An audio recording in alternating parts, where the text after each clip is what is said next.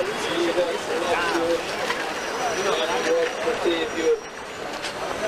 just loves you and wants to save you.